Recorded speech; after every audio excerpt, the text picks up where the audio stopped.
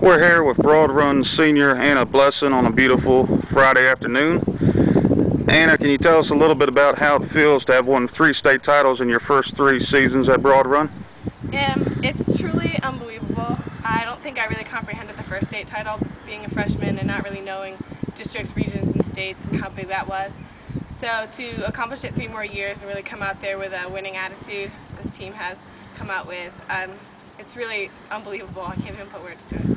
And uh, each team is kind of taking on their own characteristics. I know it's still early in your senior season, but what kind of characteristics does this uh, year's team have? Um, this year's team is a really young team.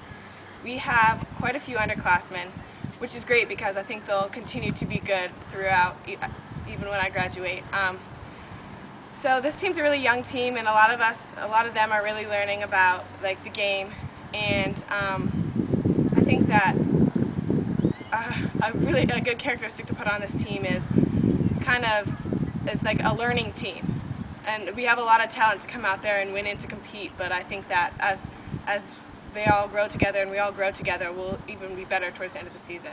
How has your role changed uh, each of your high school seasons and now as a senior?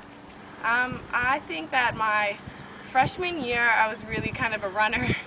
Went in there, um, so physically for the team I was a runner and I kind of sat back and was just kind of a new, a new player on the team. Um, sophomore and junior year I think I had more of a, of a more important role with the team because I um, started. I started my sophomore year and um, and definitely towards the end of my junior and into my senior year I think I've us seniors, um, me and Jen both have become kind of like the leaders of the team and the more experienced of the team because we've been on this team, both of us, for, well, will be our fourth year. And then uh, what would be the, the dream scenario to your final uh, high school season? The dream scenario, I would have to say, would be a four-state championship because that's all I've ever known. But I think what really most be important and to have a successful season would be to go out and to know that we did our best, um, to be our best, and like left everything on the field, and knowing that we, we fought and competed and went out with a winning attitude every time.